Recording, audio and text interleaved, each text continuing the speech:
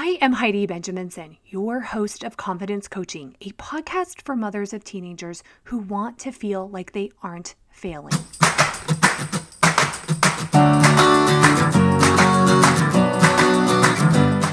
Life isn't a spectator sport. Success comes to those who show up every day with a pocket full of courage, grit, and a little sparkle. I'm glad you're here.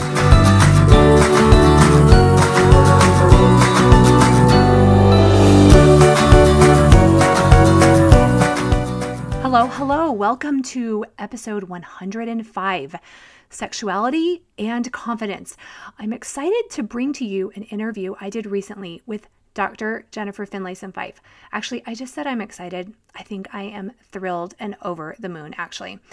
Dr. Jennifer Finlayson Fife is a highly respected and regarded therapist, counselor, and coach, helping couples, primarily LDS, but all couples, achieve satisfaction and pleasure sexually and emotionally in their marriages. I knew Jennifer in Boston well over two decades ago and have followed her teachings, her podcasts, her classes for a long time, and I admire her grace, her class, and her deep insight. I have links to her classes and her podcast in my show notes. I hope you enjoy her insights on confidence, perfectionism, and how we integrate our sexuality and integrity as an example to our children. Plus, we leave you at the end with a few of our own insecurities. So let's get to it. Here is my interview with Dr. Jennifer Finlayson Fife. All right, Jennifer, I am so grateful you are here on my podcast. Jennifer and I knew each other in Boston over 25 years ago. We went to church together. We had a mutual best friend. And mm-hmm. I know you, I deeply admire you and the work you have done, but some of my listeners might not know you. So, would you please introduce yourself and uh, for the people unfamiliar with you and tell us about your work? Sure. So, I'm Jennifer Finlayson Fife, and um, I have a PhD in counseling psychology. That's why I was in Boston with Heidi, because um, I was there. Um, in the ward and i my work my dissertation i wrote on um, LDS women and sexual agency. So I was looking at how LDS women had related to their sexuality and looking at the differences between the women who really thrived in marriage and those who did not. So that kind of launched me into the focus of my work, which is helping primarily LDS couples and individuals to have more intimate relationships um, and to be at deeper peace with themselves, which is really part and parcel to being capable of intimacy. That is, to be knowable, to let yourself be known emotionally, sexually, and otherwise. So that's my work, and I I do coaching, but I also mm-hmm. teach a lot of online courses and do live events as well to help people get a, another way of thinking about how to be in relationship to uh, how to be in relationship to themselves mm-hmm. and important people in their lives in a more mm-hmm. peaceful way. Okay, that is wonderful. That is great. And we will link up your um, you know, websites and courses and things like that. They really are fantastic. So, most of my listeners and clients are women, mothers of teenagers who are feeling overwhelming insecurity in how to handle parenting teens in 2021, which is yeah. for sure different than when we were teenagers and is different than it was even 5 years ago. That's very true. Yeah, and we we want to have the confidence we're doing the right thing. Maybe tell us the age of your kids. I think they're roughly the same as mine. You've got some teens in yeah. there too. Right. But then also like how would you define confidence? Well, first of all, I will just say that I used to be much more confident as a parent until I had teenagers.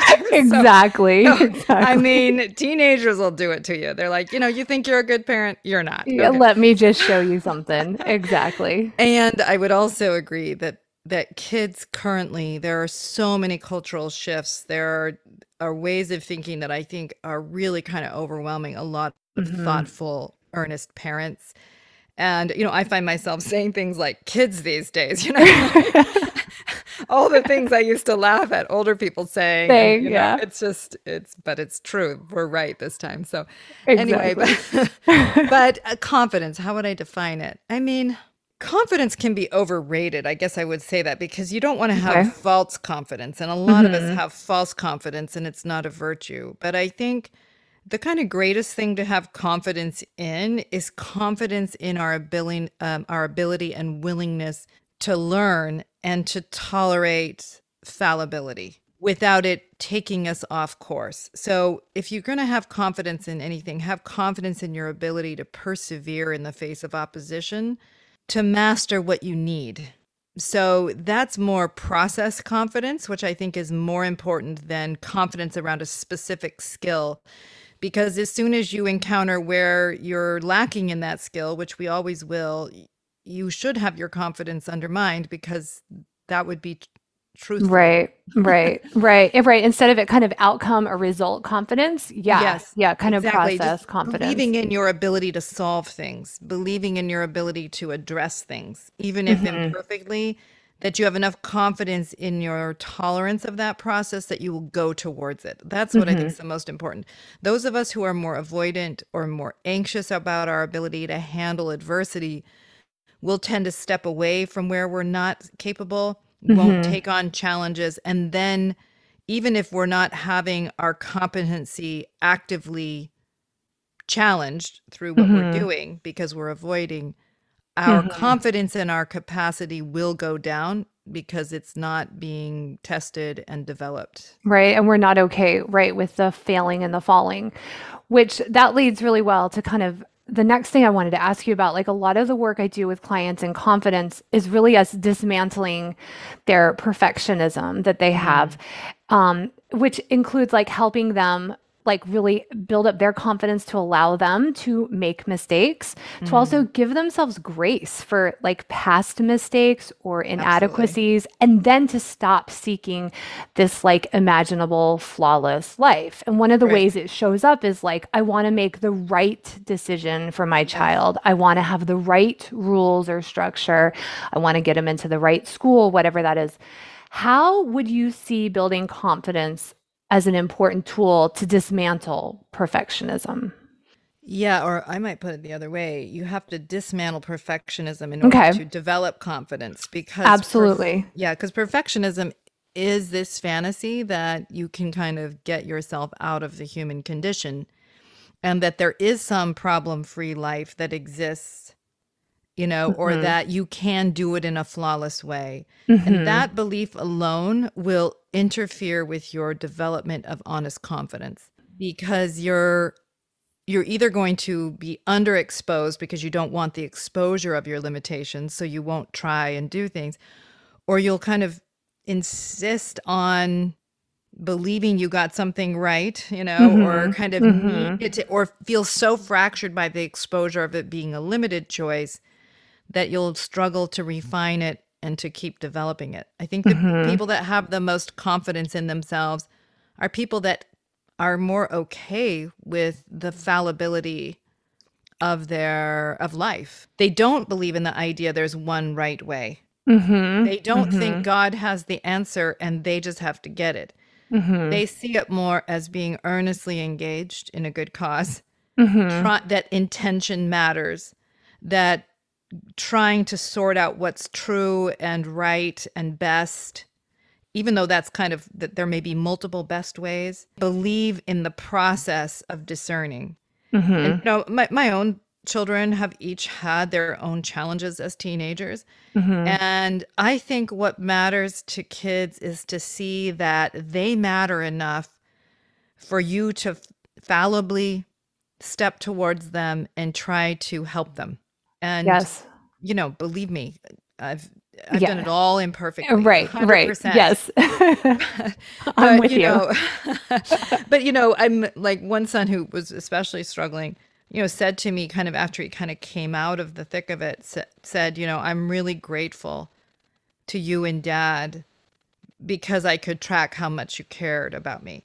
So even though we really didn't have the answers and I didn't know, where we expecting too much? Were we expecting too little? Were we mm-hmm. making too many Mm-hmm. rules, not enough rules, Yep. and getting it wrong? A lot of, I mean, I, I hmm don't mean to say there was some right answer because another thing he said was, I just needed to go through that. There wasn't really something you could have done. You could have It even a, done yes, exactly. I just had to work something out with myself. And I know he's right about that. A- hmm And and and I don't mean to say we got everything right. We didn't. But but I think that there was no way for me to know other Mhm. than get in there and to try and to care and to care enough about him that I was willing to look honestly at myself. You know, let my spouse tell me what he could see about me and my relationship with my son and vice Mhm. versa. Like to just try and The sort out. trying, right? Like Yes. just the trying again is that sense of confidence that like, oh, we're going to try again. Like Yes. that alone, like we're not going to give up. That's right. And they can see it. Yeah. That's right. And I think that telegraphs to your child, you're worth my effort. And you know, Yeah. my, this child was struggling with some depression and anxiety, and I think for him to map that was what allowed him to say, "I I need help. I do Mhm. need more help than I can provide for myself." And I think that just is a an important message. One of the things I know in myself is I wanted to believe in some ways that I had all the answers. Yes, and or the answers out there. If I can Yes. just like Google it the right way or talk to the right person or Exactly. yeah, we have this false sense of Yeah. right somewhere. Yeah. Yes. And, you know, that would be wonderful if you could Google the right thing as a parent, do the right thing, and everything's cleaned up and solved. And unfortunately, I think one of the hardest things about parenting is maybe what we also understand about God is the limits of control. Yes. That to tolerate that this human being has their own choices to make, their mm-hmm. own del- development to address, and I can care about it and I can care about them, but I can't make them rise to the occasion. I can't make them solve it. So I think that's a really hard thing. Yeah, yeah. Well, absolutely. Like for uh, that realization, I have way less control than I even would like to have. Like in a lot of ways, because we want to control the outcome. That's right. So in, in terms of perfectionism, like I teach that perfectionism disconnects us from three people. Like the first, if if people have Christian beliefs, like a savior who atoned for our sins is that first disconnected connection. The the next one is other people because we connect with others through vulnerability. So if we're trying to be mm-hmm. perfect, there's no connection. And then the last connection with ourselves because we can't develop any self-love and self-grace. And in that, you know, we lose our sense of identity. We lose the sense of I'm a child of God or a human Yes. who's inherently flawed. So what are what are your thoughts on that and how do you think as women we can regain like this sense of identity of humanity and, you know, confidence, however that Yeah. would go into that? Well, I think a couple of things about that. So I first I agree with you. It's Mhm. perfectionism interferes with intimacy with ourselves, with others, and with God. You Mhm. because you think I'm defective, I'm insufficient, so I don't want to be known even to myself Mhm. because I can't handle what I see. I can't Mhm. handle recognizing my flawed state. And that is an exposure of our underdevelopment of compassion in in general compassion towards ourselves compassion towards others conta- compassion towards our human state and Mhm. believing in a god that has that same compassion that's Mm. developmentally very important Mhm. the fact that we may not have it yet or that you recognize in yourself a harshness very likely you've come by it honestly either because you Right. you grew up in a harsh environment you internalize that way of relating to yourself but even if you grew up in a relatively loving environment compassion is something you develop it's a capacity you can develop over time Over time. Mhm. to learn to offer yourself grace now i don't mean Mhm. indulgence like oh whatever it doesn't matter what i do. Right, right. Because that's not love. Right. that's not love, exactly. And that's not even good to yourself because, you know, I work with clients who are so afraid of failure that they step back from everything. And it's a kind of indulgence, but they still feel terrible about themselves. So, allowing yourself to be human, allowing others to be human, and loving in the face of that inherent vulnerability.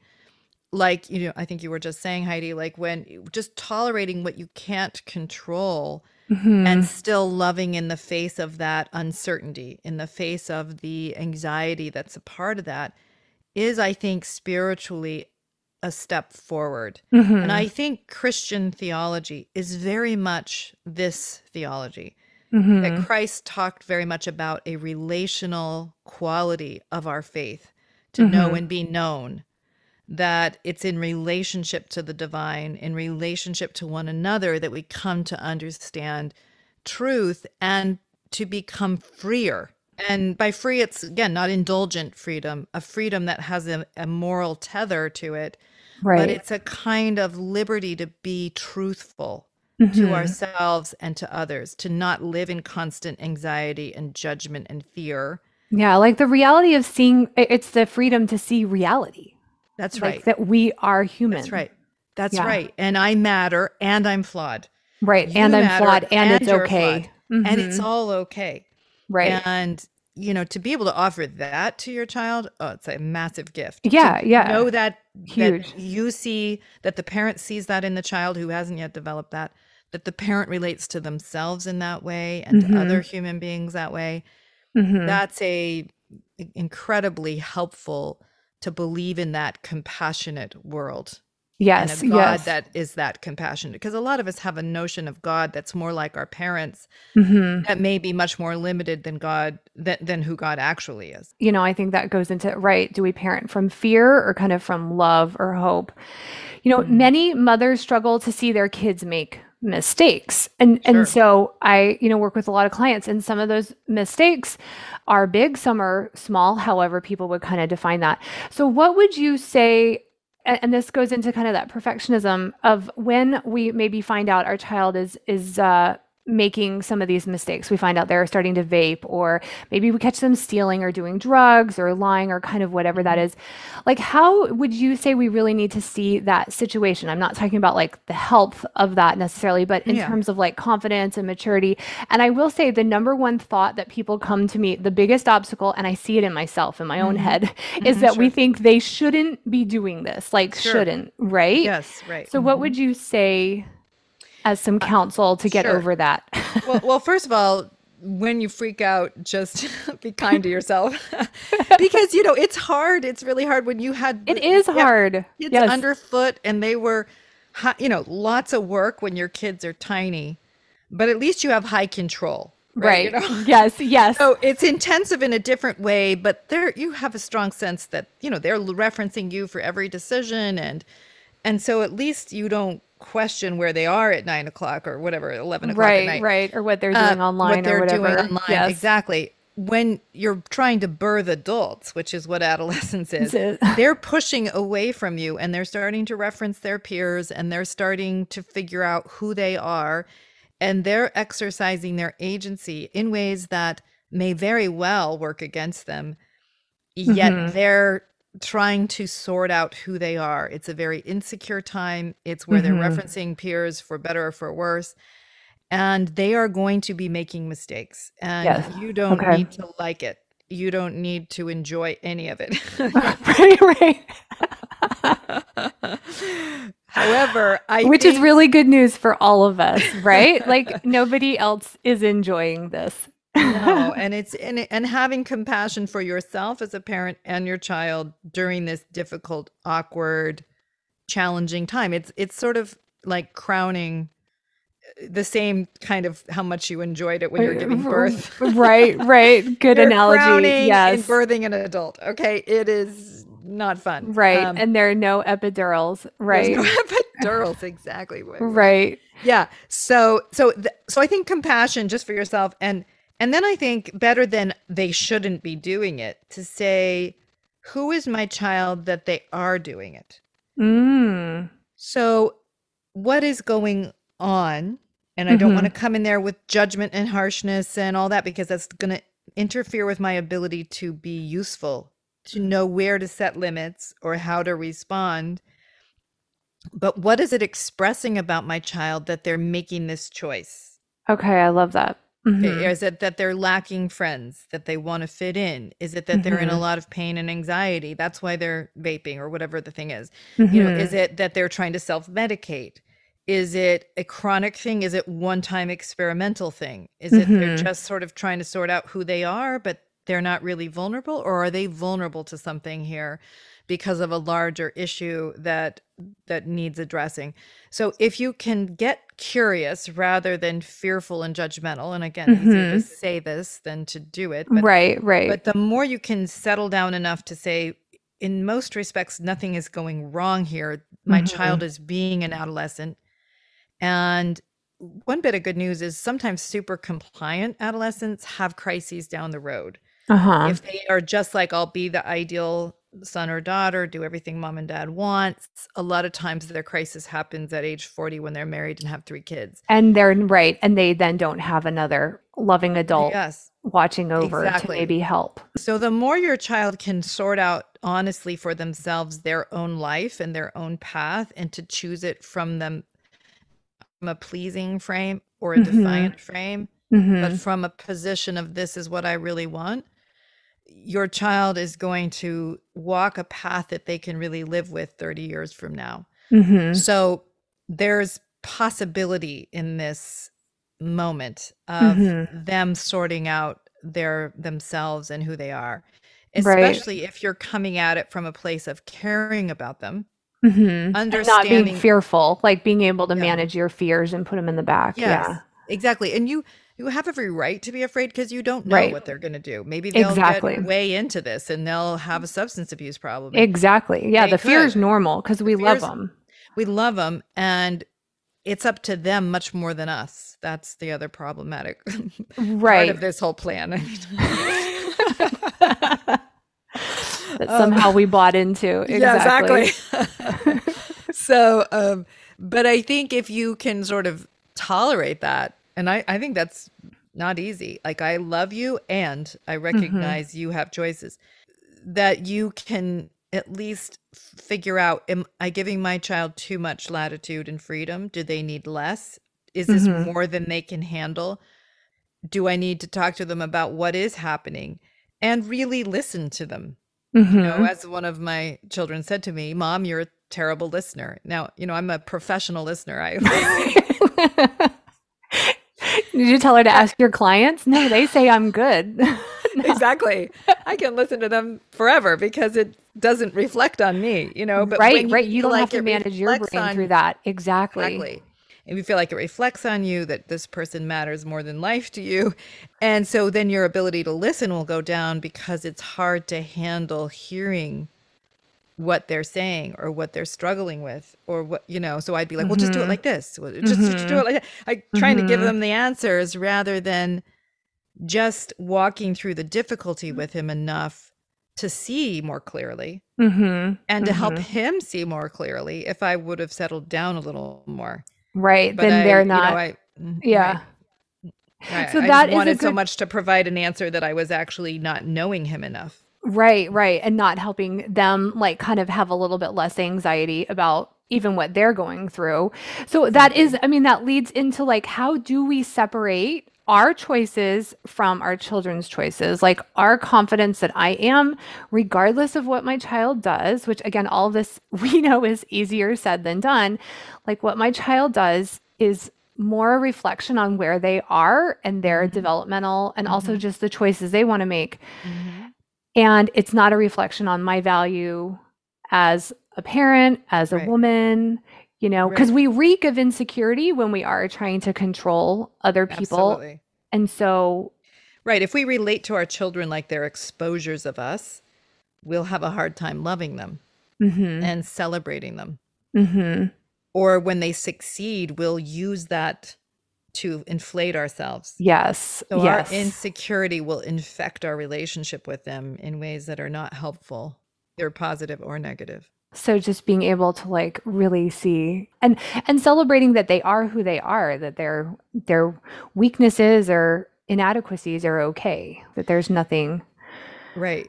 You know, like I was socially awkward as an adolescent, and I have a child who struggles similarly, Mhm, and maybe even more so, mhm. uh, more introverted.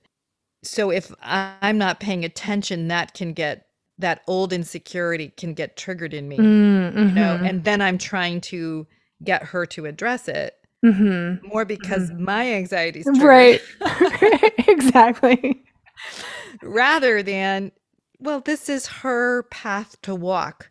Yeah. This is hers to sort out.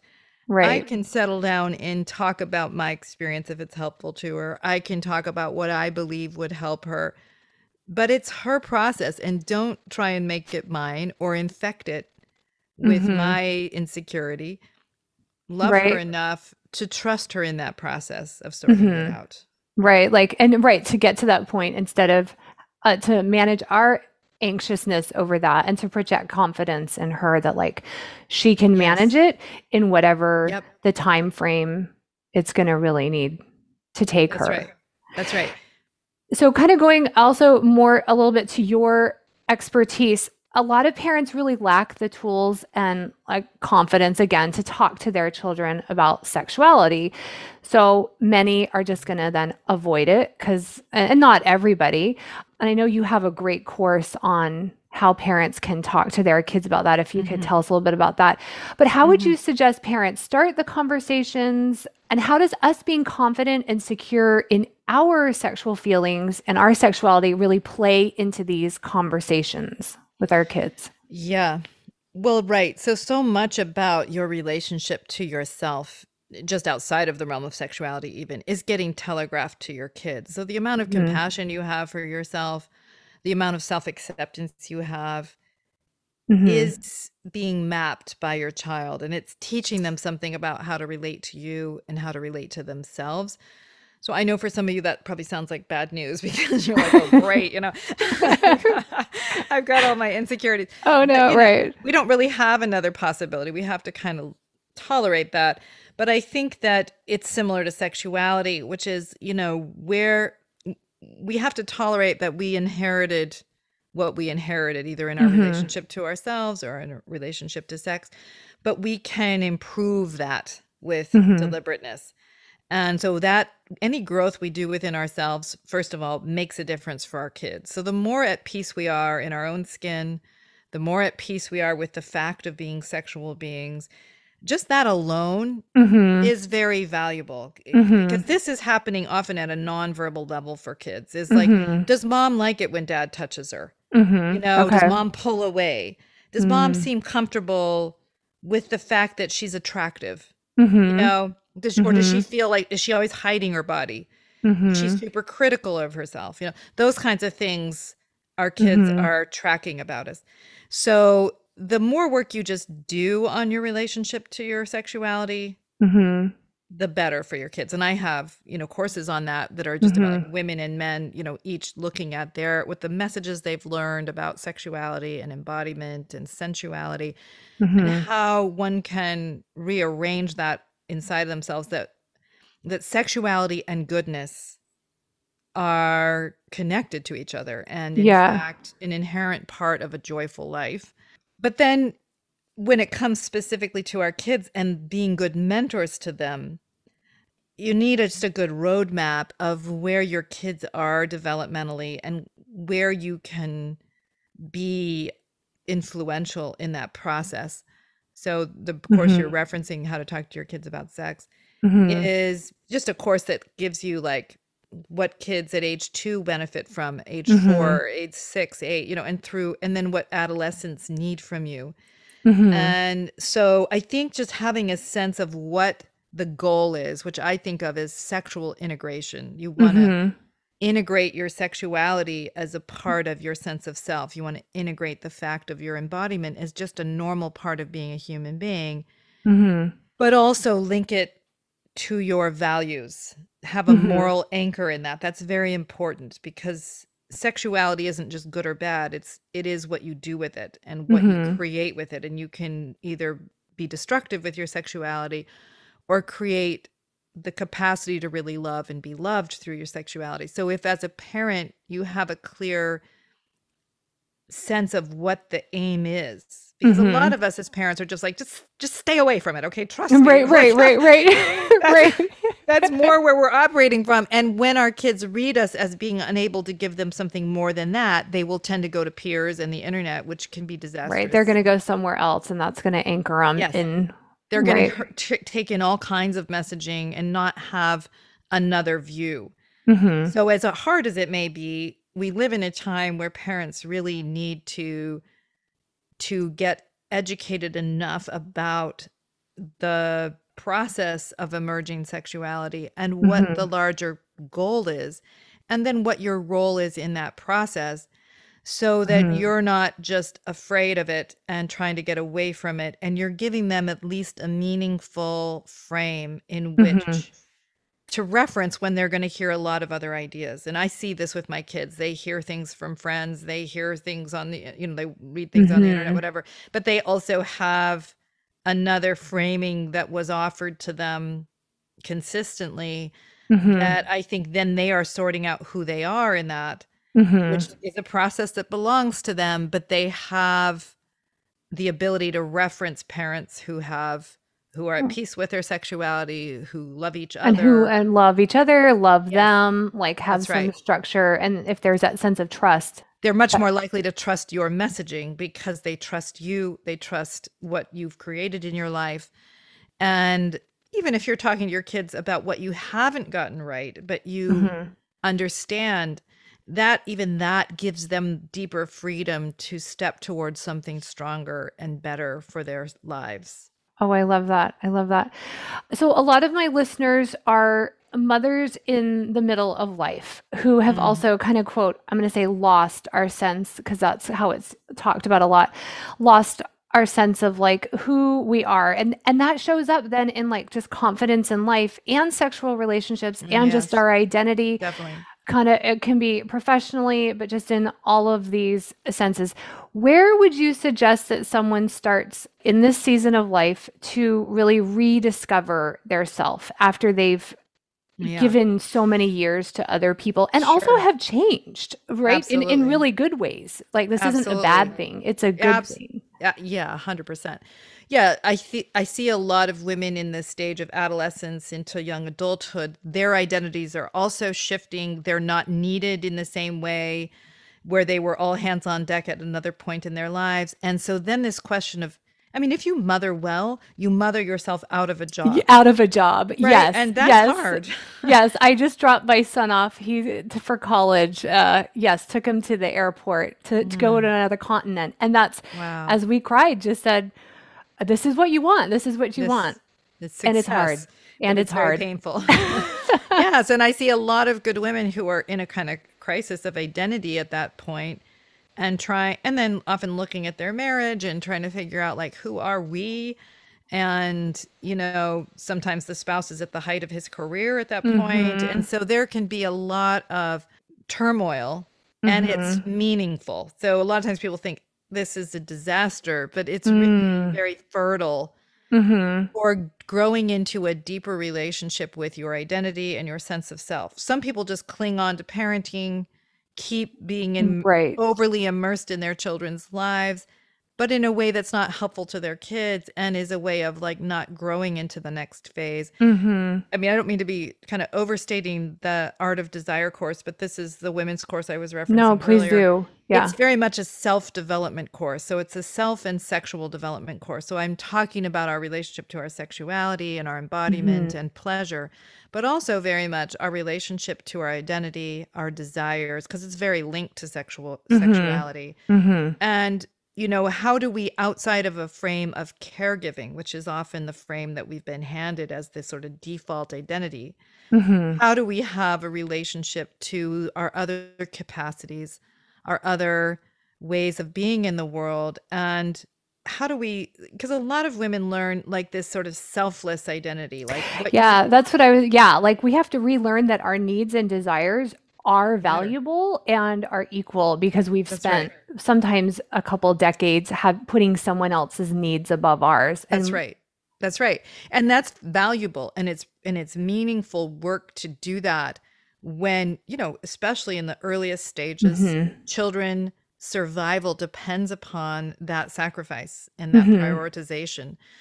Uh, but a lot of us have learned that's the only way to be a woman. Or if you're a good Mhm. woman, you will always You will always do that. hmm And that becomes its own liability because the mother who doesn't grow into other aspects of herself never feels good. She never feels Mhm. good about herself. So her children, as they get older, will start to caretake her, you know, Mhm. and caretake her sense of self and so on, often by needing her or reassuring her. And so it's a real gift to your children to grow into the other aspects of self that you put aside for a while Mhm. to be Mhm. more at peace with who you are mm-hmm. not just in a self sacrificing role. That is beautiful. That is wonderful.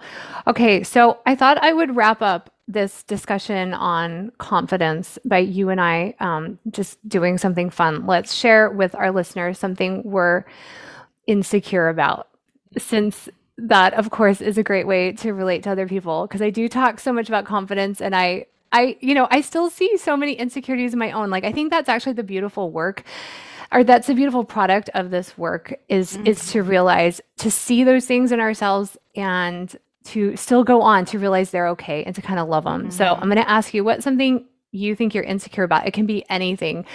When I came up with this question, I realized, you know, I am still I still have those feelings of insecurity when I post anything on Facebook or mm-hmm. Instagram or we're doing this interview mm-hmm. on a mm-hmm. Wednesday, my podcast release on Wednesday. Anytime I put something out, mm-hmm. um, like I yes. still I still have that. I think that's valuable just to tell people to like share even like with youth or other women that like those things are still there and I just work to put them in the back seat and to have right. something else. I also am pretty insecure about some things I have to cook. I will say that.